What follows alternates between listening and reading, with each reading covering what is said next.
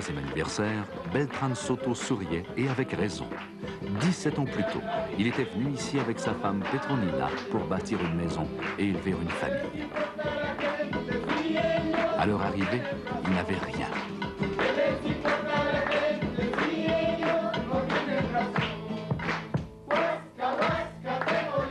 Aujourd'hui, il possède une maison de briques et de ciment, une maison de cinq pièces bien meublée. Ils ont aussi l'eau courante et l'électricité. Ils ont même une chaîne stéréo, un téléviseur et un réfrigérateur. C'est déjà beaucoup pour une famille péruvienne. Mais c'est encore plus remarquable dans le cas des Soto, car ils vivent au cœur d'un bidonville.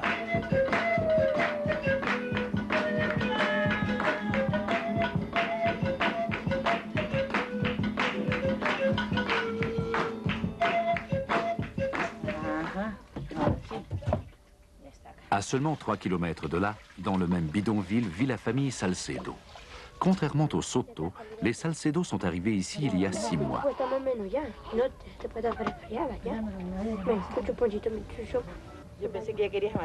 Ils vivent dans une petite hutte de paille soutenue par des poutres de bois. Chez eux, il n'y a ni électricité ni eau courante et c'est le sable du désert qui leur sert de plancher. Nous sommes six dans la famille. Mon mari, les quatre enfants et moi. La petite n'a que 17 jours. Et il faut bien s'en occuper parce qu'il peut faire vraiment froid.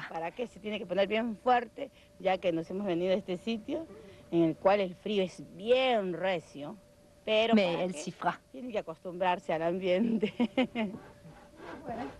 Rosa Salcedo et son mari Samuel ont déménagé ici à la recherche d'une vie meilleure. Une décision qui a tout changé.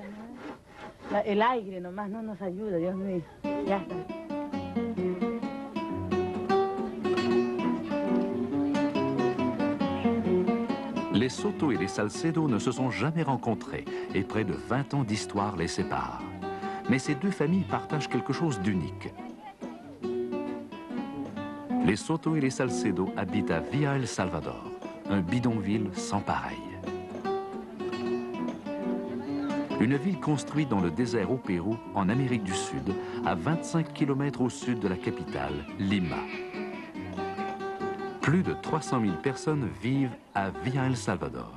Des gens comme les Soto et les Salcedo qui sont venus à la recherche d'un rêve dans le désert. Villa, eras pobre, triste y sin luz. Villa, cuando niño yo recuerdo, eras pobre, triste y sin luz. Ahora todo el pueblo lo comenta al ver tus calles lindas llenas de juventud.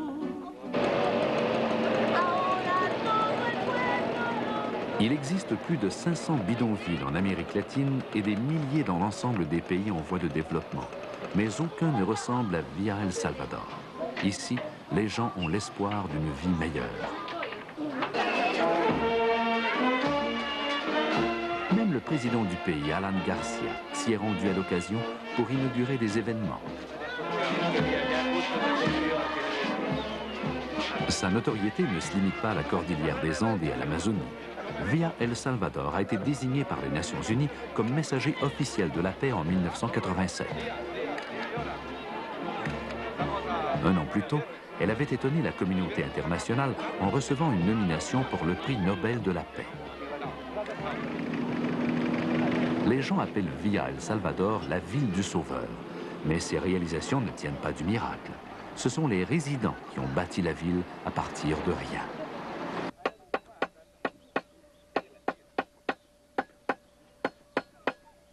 Beltran Soto en est l'un des bâtisseurs, l'un des pionniers.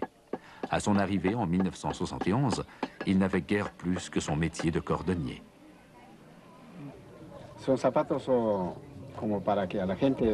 La plupart des gens d'ici sont pauvres, alors ils ont besoin de bons souliers et qui durent longtemps.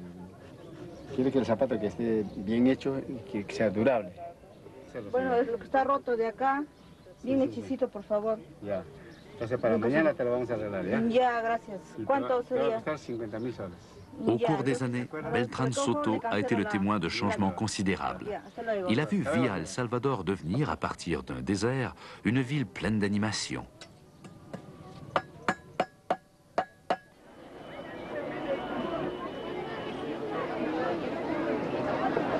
Aujourd'hui, elle compte 22 marchés en plein air, des douzaines d'écoles et de cliniques médicales, des boutiques modernes et 120 aires de récréation. Et ils n'ont mis que 17 ans pour réaliser tout ceci.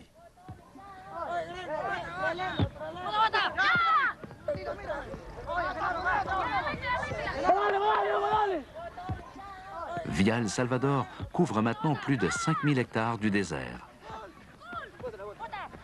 La ville est devenue si vaste que deux familles comme les Salcedo et les Soto ont peu de chances de se rencontrer. Mais si jamais cela leur arrivait, cela se passerait sans doute ici, place de la solidarité, le cœur géographique et politique de la ville. Michel Ascueta, le maire de Via El Salvador, nous en parle. Habituellement, il y a dans toutes les villes du Pérou et de l'Amérique latine une place publique qu'on appelle place d'armes. Nous avons décidé de poser un geste symbolique et de ne pas donner à la nôtre ce nom colonialiste et militaire. Nous avons préféré la nommer place de la solidarité, parce qu'ici, des Péruviens de toutes les régions du pays se rencontrent.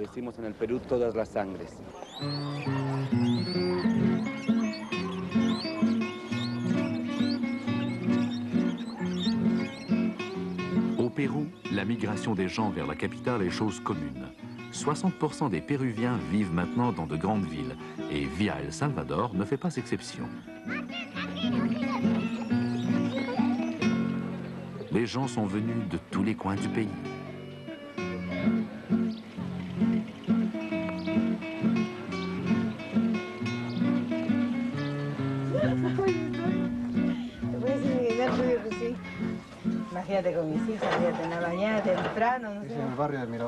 Les Salcedo sont venus directement d'un autre bidonville de Lima où ils avaient vécu pendant 15 ans. Samuel Salcedo est chauffeur d'autobus et Rosa travaille à temps partiel comme institutrice. Avec quatre enfants, la vie n'est pas facile pour les Salcedo. Ay, puedes imaginarse cómo me la veo. Hay veces cuando tengo que cocinar, lavar. ¿no? Es que como se van al colegio, Il y a tant de choses à faire ici. Cuisiner, laver, S'occuper des enfants. licencia, Entonces, me- ellos se van al colegio, me quedo yo acá. Quand les plus vieux vont à l'école, moi, je dois rester avec le bébé. Sale mi esposo a las 5 de la mañana, está saliendo a trabajar. Euh, Mon mari est chauffeur d'autobus. Il part travailler à 5 heures du matin et ne rentre pas avant minuit. Y entonces se va a las 5 de la mañana y regresa a las 12 de la noche. Él no para. Malgré leurs difficultés, les Salcedo sont heureux dans leur nouveau foyer. La vie ici est différente de tout ce qu'ils avaient connu avant.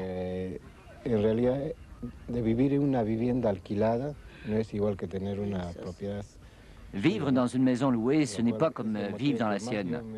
C'est avant tout pour cela que nous sommes venus ici, ma famille et moi. Posséder enfin quelque chose. Ça donne un sentiment de sécurité. Posséder quelque chose, pouvoir dire que cette maison nous appartient et savoir que personne ne peut nous en expulser.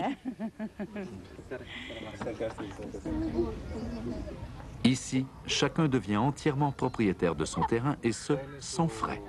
Le grand défi, c'est que pratiquement tout ce qui se trouve dans la ville doit être construit par les résidents eux-mêmes.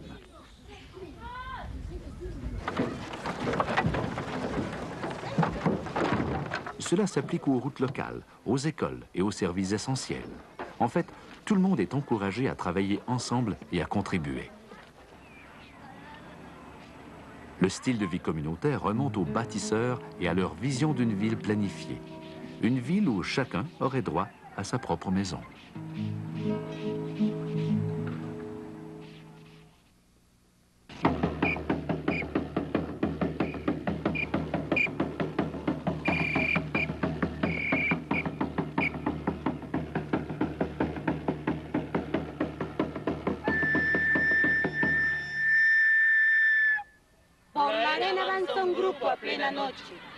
Ellos dejaron atrás los callejones de adobe, de caña y de alquileres.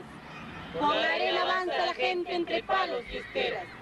Es de noche y de invierno. Son provincianos y provincianas. Los niños que no saben nada sienten miedo y frío. El suelo no es de nadie, es de todos. Nació la villa de la miseria. No había techo ni ocupación. Un día de mayo, con mucha lucha, pour la justicia. Le 1er mai 1971, une poignée de gens occupèrent un terrain à l'extérieur de Lima, connu sous le nom de Pamplona. Ils réclamèrent des droits sur cette terre et y bâtirent leur hutte de paille. Il s'agissait d'une invasion planifiée, comme cela se faisait beaucoup à l'époque. Le gouvernement avait alors une politique réformiste et légalisa un grand nombre de ces occupations. Certaines toutefois firent l'objet d'une opposition acharnée lorsque le terrain n'appartenait pas au gouvernement. Ce fut le cas en ce qui concerne l'invasion de Pamplona. Epifanio Pérez, un chauffeur de taxi, joua un rôle de premier plan dans la prise de possession et il est considéré comme un des pères fondateurs de Villa El Salvador. C'est en mars et avril que nous nous sommes organisés. Nous étions 248 personnes et nous étions les premiers à occuper la terre. L'invasion de Pamplona conduisit à une confrontation directe avec les propriétaires locaux et la police à mesure qu'arrivaient de nouveaux squatters. Les propriétaires se montrèrent intraitables et demandèrent l'expulsion des paysans. Mais le troisième jour déjà, 5000 personnes s'étaient installées. Et le sixième, on en comptait 10 000.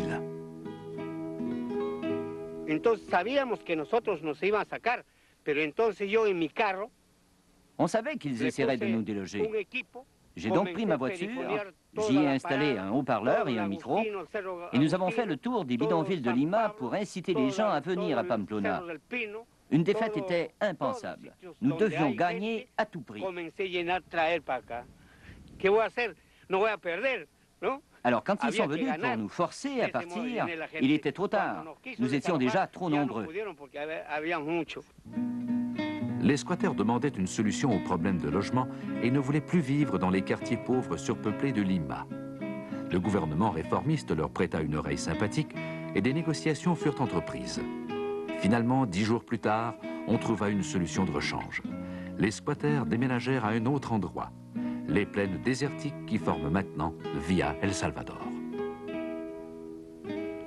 Via El Salvador es un pueblo que ha comenzado organizado si Villa El Salvador ne s'était pas organisée dès le début, elle ne serait pas où elle en est aujourd'hui. Elle serait très peu développée, comme d'autres bidonvilles. L'organisation est primordiale. Une ville désorganisée, c'est comme une personne sans vie.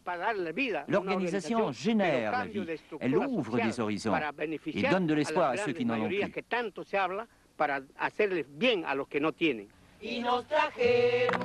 A este desierto para buscar la solución.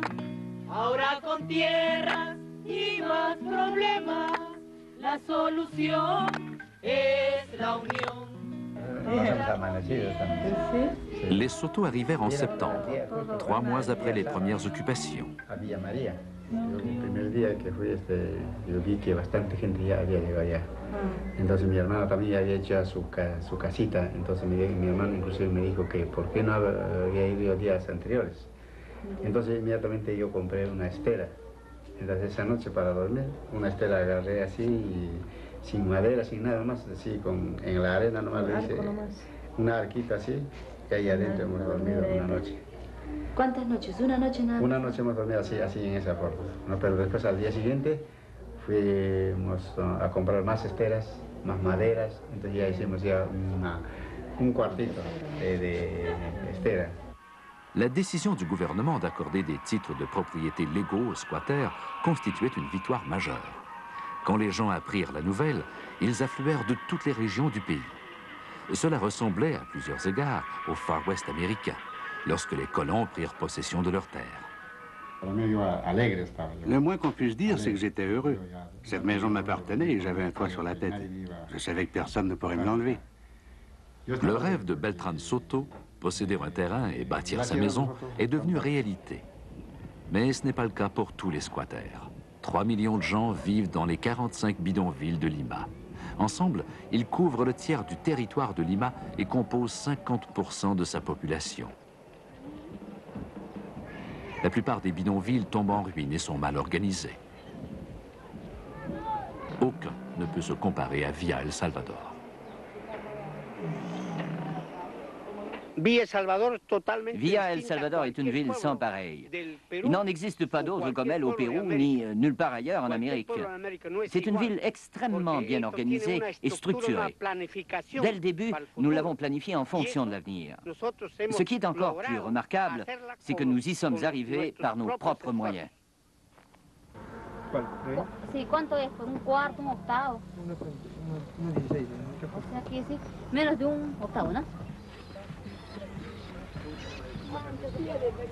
Les fondateurs étaient déterminés à créer une ville où tout le monde aurait les mêmes droits. La pierre angulaire de leur démocratie a été le lot familial individuel. Une parcelle de terrain mesurant 140 mètres carrés, la même chose pour tout le monde.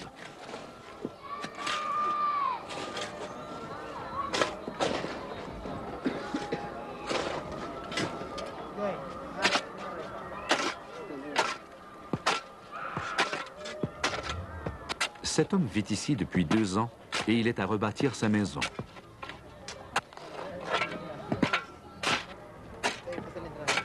Pour presque tout le monde, la construction de maisons est un processus continuel qui évolue selon les besoins et les ressources disponibles. Plus de 40% des maisons sont toujours faites de nattes de paille et de poutres de bois, comme celle-ci.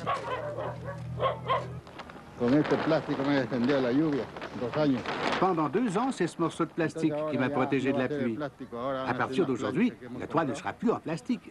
J'ai acheté une grande planche de bois qu'on va poser par-dessus les murs en inclinant un peu pour que la pluie glisse d'un côté. Et nous allons solidifier le tout avec du ciment.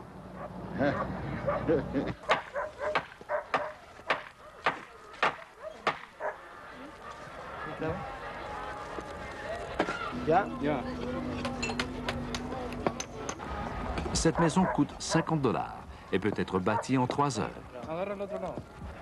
À condition que quelques voisins donnent un coup de main. Nous sommes tous des amis ici. Tout le monde collabore. Un service en attire un autre.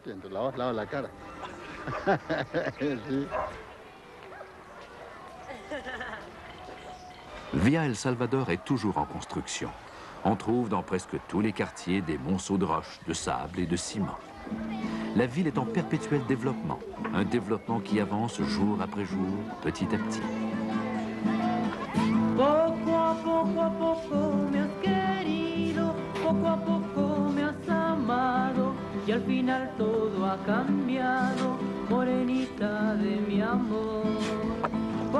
a poco a poco me poco me has amado y al final todo ha cambiado, morenita de mi amor. Nunca digas que no, nunca digas jamás, son cosas del amor, cosas del corazón. Canción y guayno para cantar, canción y saya para bailar. Les Soto n'ont pas fini de construire leur maison. Bien qu'ils soient partis d'une petite hutte de paille pour arriver à une maison de cinq pièces, il reste encore beaucoup à faire. Je ne serai satisfait qu'une fois la construction de notre maison achevée. Le toit n'est pas terminé, il manque des portes aux pièces et On n'a même pas commencé à bâtir le deuxième étage. Nous sommes une grosse famille et un deuxième étage est essentiel pour loger tout le monde. Je serais heureux quand tout serait fini. La construction des maisons n'était pas l'unique préoccupation des fondateurs. Construire une communauté l'était aussi. Un des projets les plus stimulants a été le parc écologique, où on a fait pousser une forêt entière. Le parc offre à chaque famille un arbre qu'elle peut replanter sur son propre terrain. Naranja, ay, qué bonito. naranja, ya está todo, ya está retoñando de acá vuelta. Ay, qué bonito. Muy, mira, ve, ya tiene hasta su plan. Ya comenzó a germinar, qué bonito. Y esto ha sido de, ¿cómo se llama? De, de la semilla, ¿no? De semilla, ay, qué bonito. la casa para así tenerlo. Claro. Les arbres et les plantes des jardins sont arrosés grâce à un système d'irrigation utilisant les eaux usées de la ville.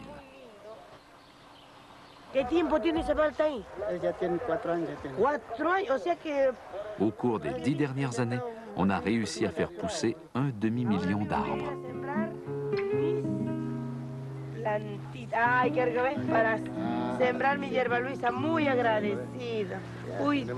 Uy, Estos de acá se llaman rosas. ay, las rosas, eh, son tan delicadas, ¿no?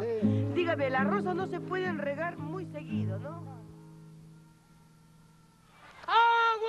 ¡Agua! ¡El agua! ¡Oye, ya llegó el agua! ¡Oye, arranca! ¡Agua! ¡Uy, ya peo! ¡Oye, su cola, pe! ¡No te peo, no me no, no me empujes! ¡Se secó! ¡Ay, qué vivo! ¡Oye, yo tendré la culpa, pe! ¡Ay, un poquito, pe! ¡A tu cola, pe! Un poquito, Pe.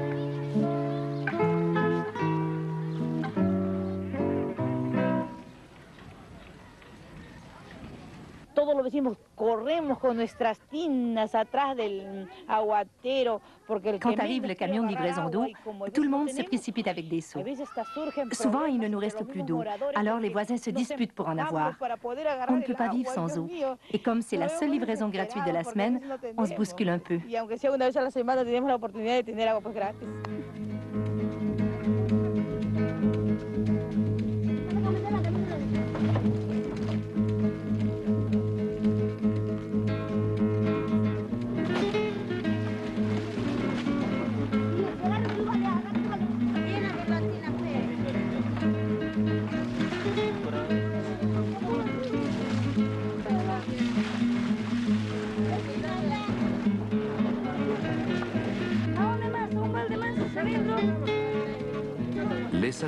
Vivent dans le quartier le plus récent et le moins développé de la ville. La vie ici ressemble vraiment à celle des premières années lorsque toutes ces choses comme l'eau courante et l'électricité étaient pratiquement inconnues.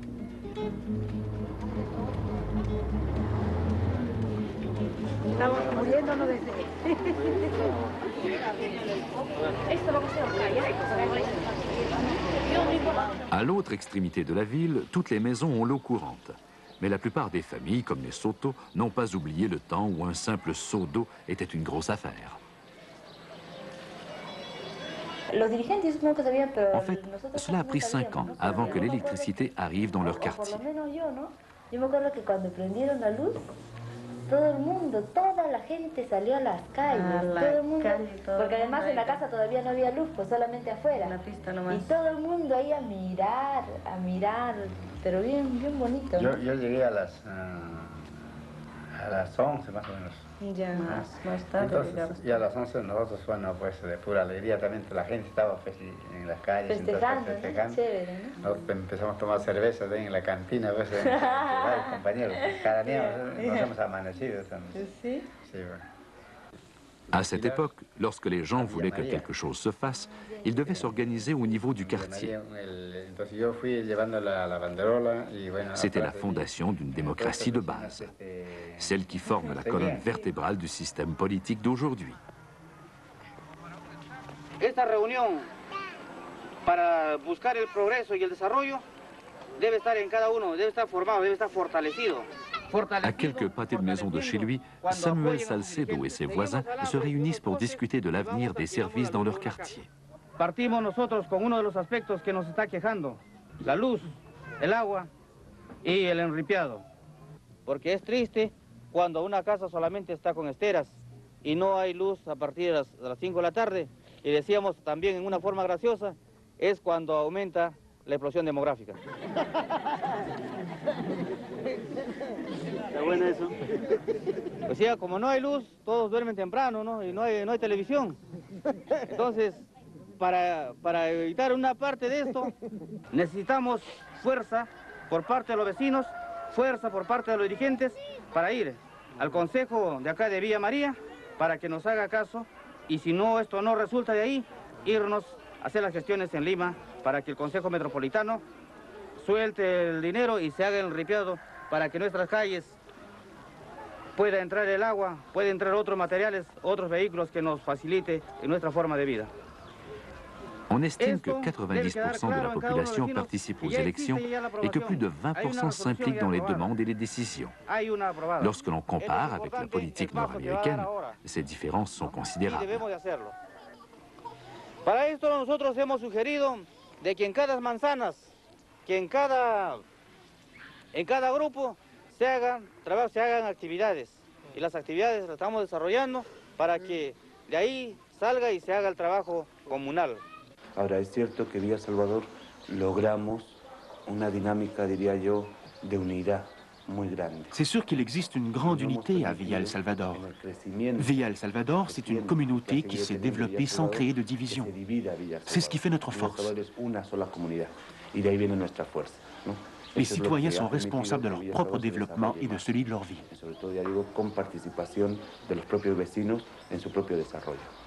En el pueblo de Villa Salvador, uno de los principales logros es que no tengamos ya niños que no van a la escuela. Chaque quartier a son représentant qui siège à l'Assemblée générale appelée Cuaves, le Parlement de la ville. Le Cuaves est l'épine dorsale de la structure politique et est unique à Villa El Salvador. Il s'agit d'un conseil municipal authentique où sont entendus les problèmes de chacun des quartiers. De las raíces. Señor, ya no está dejando redondo, yo le he dicho que no deje redondo. ¿Y a los 18 millones. Los 18 millones, sí. Porque imagínate, aquí está menos de 3. Les Salcedo et leurs voisins ont décidé qu'il était temps d'entreprendre une action politique directe. Y justamente mañana tenemos una actividad en esta manzana que vamos a Demain, on organise une activité pour recueillir des fonds. Il faut financer la construction de routes, l'installation d'eau et d'électricité. Y tal que así mañana vamos a hacer nuestra actividad. También Nous avons invité d'autres communautés voisines qui nous avaient déjà invités pour les mêmes raisons. Tout le monde ici partage les mêmes inquiétudes.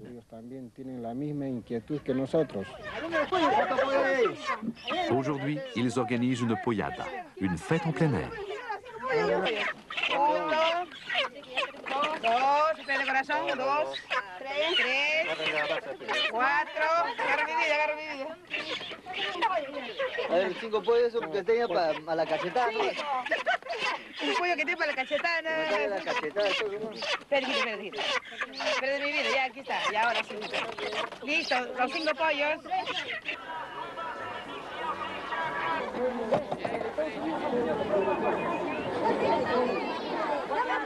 Petronina Soto est à planifier sa propre poyada.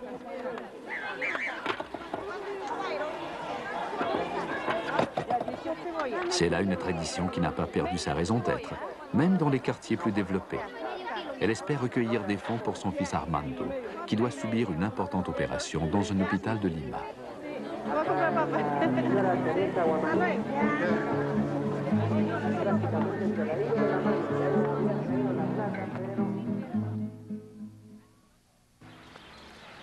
Alumnos, muy buenas tardes. ¡Tarde, profe! En nuestra clase de geografía vamos a hablar de los desiertos. A ver que un alumno me diga, ¿qué animales viven en los desiertos? A ver yo, profe. Los alacranes y la lagartija, profe. Está plagiando, profe, está plagiando. A ver, ¿y qué otros animales viven en los desiertos? ¡La gente! ¿Cómo que la gente? ¡Nosotros, profe!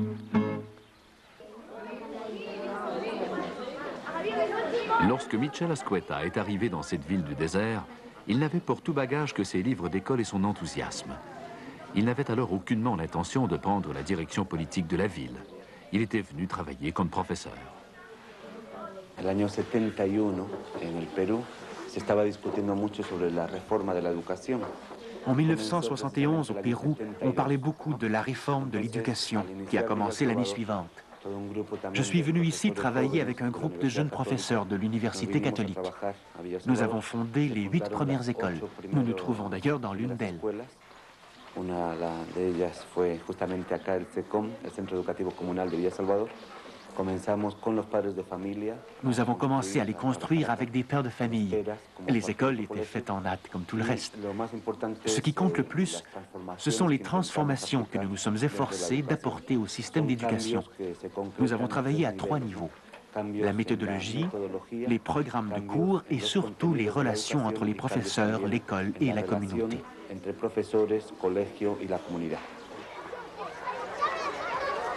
Aujourd'hui, le système d'éducation intègre ces trois principes. Avec ses 34 écoles et ses trois collèges techniques, presque tout le monde peut poursuivre des études. Cela a aidé via El Salvador à atteindre un taux d'alphabétisation de 97% soit le plus élevé au Pérou. Un pays où plus d'un tiers de la population ne sait ni lire ni écrire.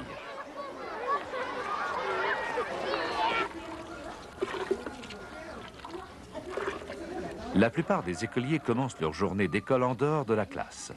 Ils participent à un programme qui offre à chaque enfant un verre de lait par jour. Petronina Soto participe au programme dans son quartier. La participation de Petronina au programme laitier n'est pas exceptionnelle. Des femmes comme elle ont joué un rôle essentiel dans le développement de Via El Salvador. À partir des écoles jusqu'à l'arène politique, elles ont remis en question la place qu'elles occupaient traditionnellement et ont contribué à transformer ce désert. Maria Elena Moyano a grandi ici et elle est maintenant présidente de la Fédération des femmes. Les femmes participent à l'amélioration de la santé et de l'éducation dans leur quartier. Elles travaillent bénévolement dans les garderies pour les enfants de 3 à 5 ans.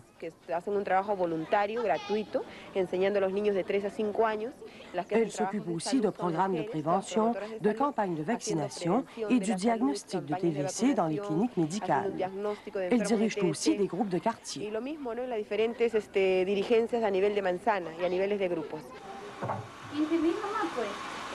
Les femmes ont également mis sur pied un vaste réseau de cuisines de quartier où la nourriture est achetée et préparée collectivement. Ces cuisines sont organisées en coopérative et offrent des repas à bon marché, ce qui permet aux femmes d'occuper d'autres emplois.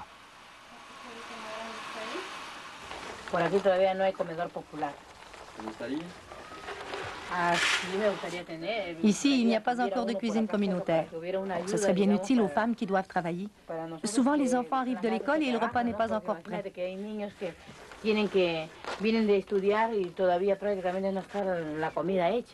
Ça nous aiderait beaucoup. En attendant, bien, on s'organise avec ce qu'on a.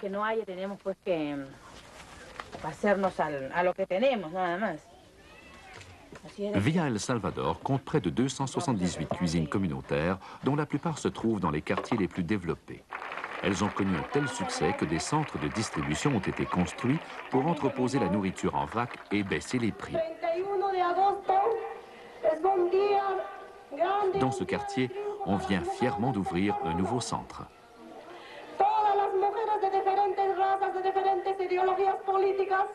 Acá hoy día, esta tarde, nos hemos reunido para poder inaugurar el local.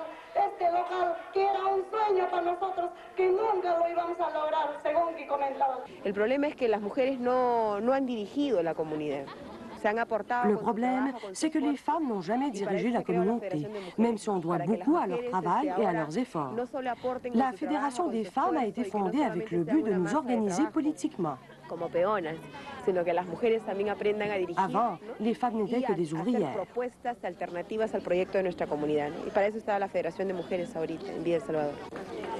La Fédération des femmes, la première à être établie au Pérou, est reconnue nationalement pour le rôle de leadership qu'elle a joué dans le développement de Via El Salvador.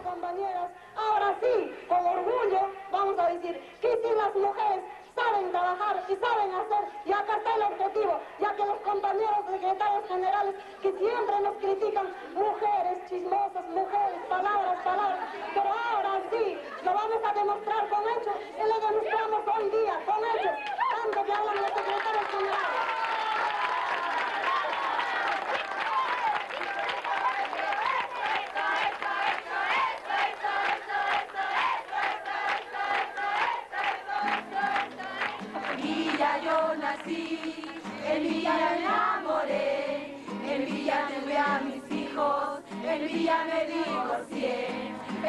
Que yo me muera y me lleven a enterrar, saldré de mi sepultura y por mi villa de lucharé. En Villa yo nací, en Villa me enamoré, en Villa tuve a mis hijos, en Villa me divorcié.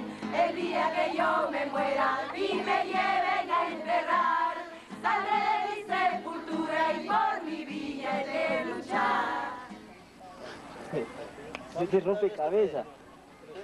La poyada, qui se tiendra demain, est en préparation dans le quartier des Salcedo.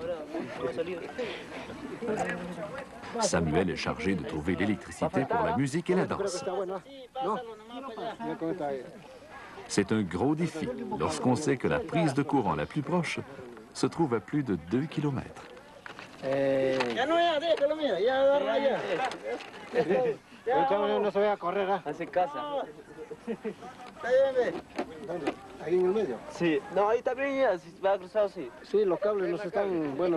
On emprunte les fils électriques de tout le monde du quartier. C'est la seule façon d'amener l'électricité là où on en a besoin pour notre activité.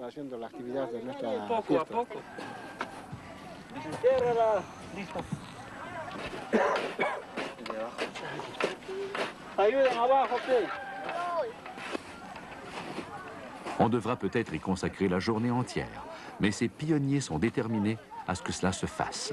Une poyada avec beaucoup de musique constitue un moyen sûr de recueillir des fonds et peut-être, qui sait, la première étape pour obtenir leur propre électricité.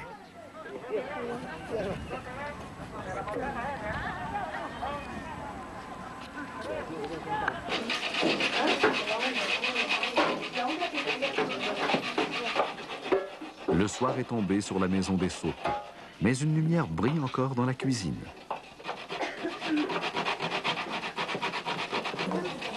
Petronina et sa famille préparent la pollada de demain.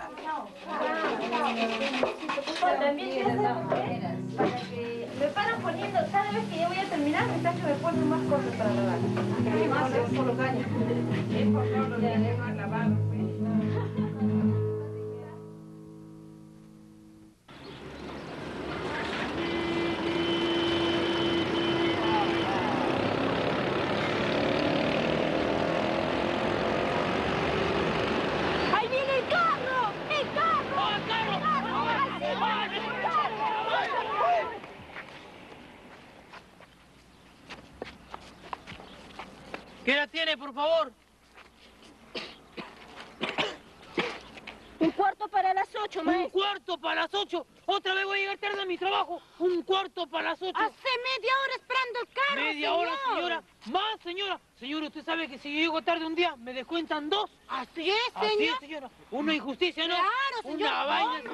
Maestro, señor. ¿Qué hora dijo que era? Un cuarto para las ocho, maestro.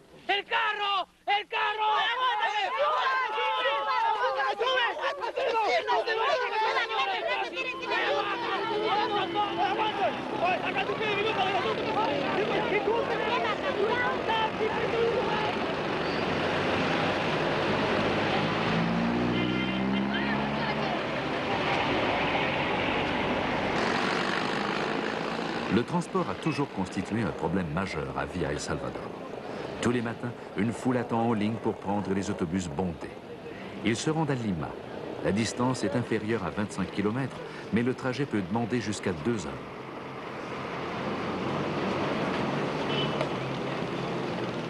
« 30% des travailleurs de Via El Salvador sont employés dans la région de Lima, un lien de dépendance qui entrave la croissance économique de la ville.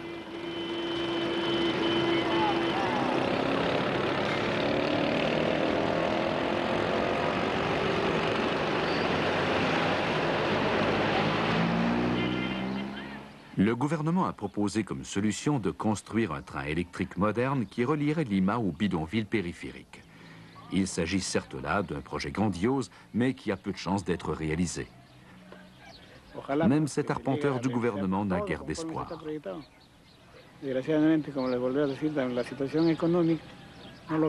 La situation économique nous étrangle. En ce moment, les matériaux de construction et la main-d'œuvre sont hors de prix.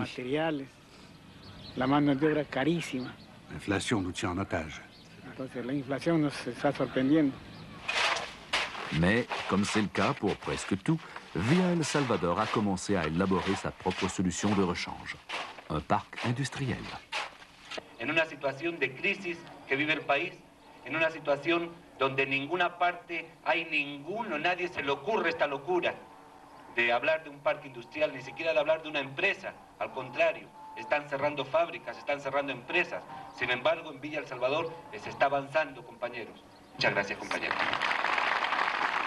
À cette cérémonie d'inauguration, 108 entrepreneurs locaux reçoivent leur titre de propriété en tant que membres du parc industriel.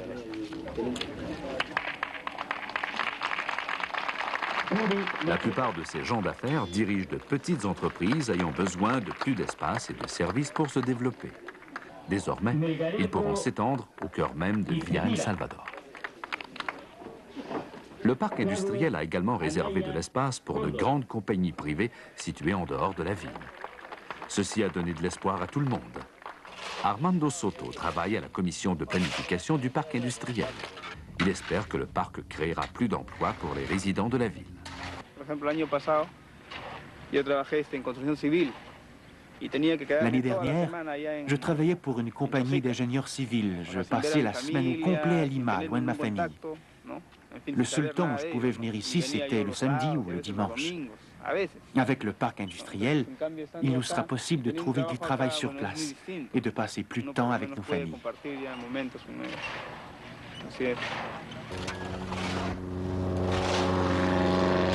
Bien que la construction soit entreprise à plusieurs endroits et que des milliers d'emplois aient été promis, le parc industriel a encore beaucoup de chemin à parcourir. Il est confronté à un combat difficile car l'économie va de mal en pis au Pérou.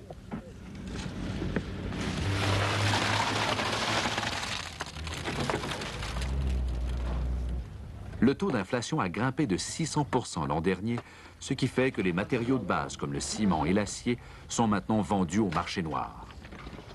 Es un apoyo, yo tratando de ver también, porque yo tampoco no voy a traer a ustedes a precio oficial como lo venden allá. Yo tengo que Pour ver Félicia Abarca, propriétaire d'un petit atelier de couture, la situation économique pourrait anéantir ses rêves de s'installer dans ce parc. Porque acaba de comprar el señor Piero, el Piero compró allí y estaba diciendo que... No, no hay fierro. Pero sin embargo, te paga un poco más, le dan. Están vendiendo a 450.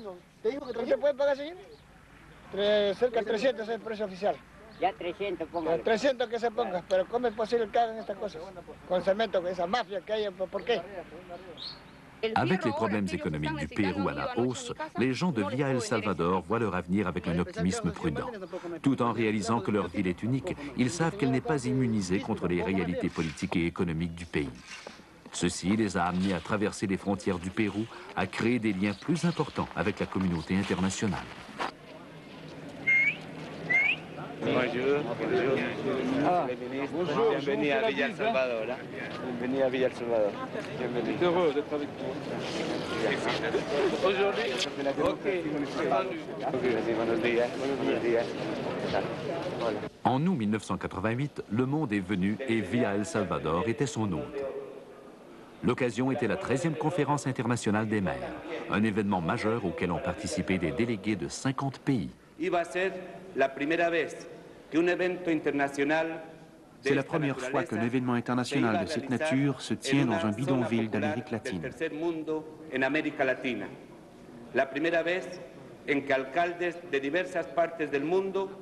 C'est la première fois que de des maires venant de partout dans le monde, de petites villes comme de métropoles, se réunissent en plein cœur d'une zone pauvre et sous-développée pour discuter de problèmes urbains. de la pobreza urbana de la que tanto se habla.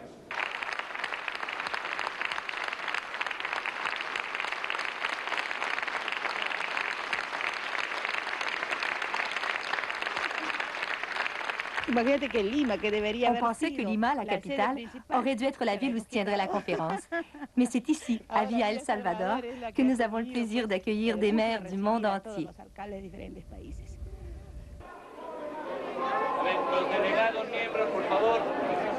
Les combats et les réalisations de Via El Salvador ont impressionné un grand nombre de ces maires. La plupart ont appris quelque chose de cette communauté, quelque chose qu'ils rapportent avec eux. Ici, on a vu des gens qui participent activement à la vie de tous les jours de la municipalité. C'est très important pour nous à l'étape actuelle en Union soviétique, car nous aussi, nous essayons d'augmenter l'activité de la population. Villa El Salvador, ce sont des, ces villes nouvelles qui fleurissent autour des, capitales euh, à travers tout le tiers-monde.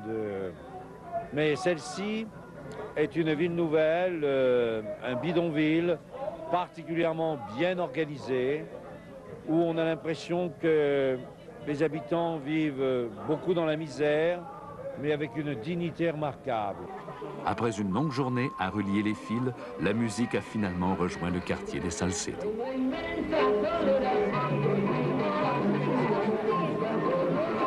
C'est le temps de la fête pour les Salcedo et leurs voisins, même si cela ne durera que quelques heures.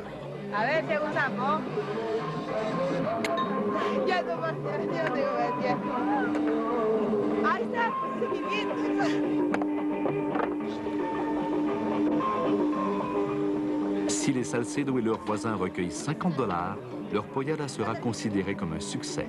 La prochaine fois, ils n'auront peut-être pas besoin de câbles électriques.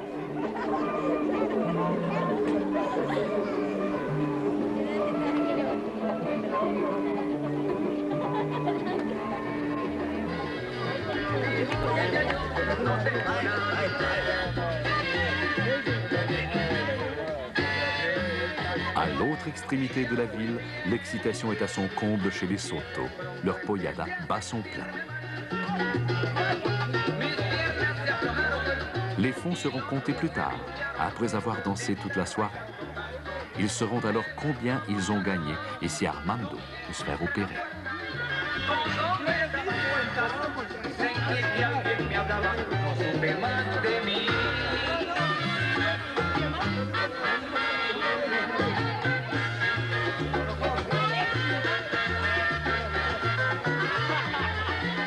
Soto et les Salcedo, Via El Salvador est plus qu'une ville. C'est une famille élargie où plus de 300 000 personnes ont appris à vivre et à travailler ensemble.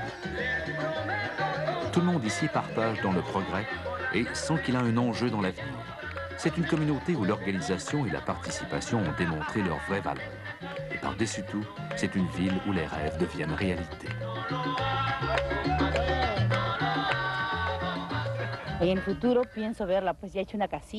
Voici comment j'imagine l'avenir. Une petite maison où tous mes enfants seraient à l'abri. Une maison solide, faite pour durer. C'est mon rêve et je pense que c'est celui de tous ceux qui vivent ici. Une maison solide pour nos enfants.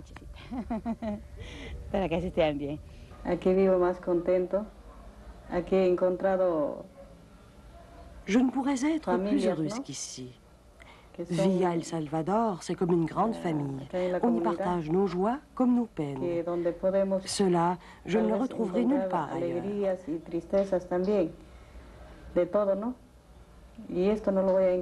Je suis ici et je compte y rester. En Villa yo nací, en Villa me crié, en Villa yo estudié. En Villa debo morir. El día en que yo me muera y me lleven a enterrar, saldré de mi sepultura y por mi villa corretear. En Villa yo nací, en Villa me crié, en Villa yo estudié, en Villa debo morir. El día en que yo me muera y me lleven a enterrar, saldré de mi sepultura y por mi billete luchar. En Villa yo nací, en Villa me crié, en Villa yo estudié, en Villa debo morir. El día que yo me muera y me lleven a enterrar, saldré de mi sepultura y por mi villa corretearé. En Villa yo nací me crié, Villa yo estudié, Villa debo morir, el día que yo me muera y me lleve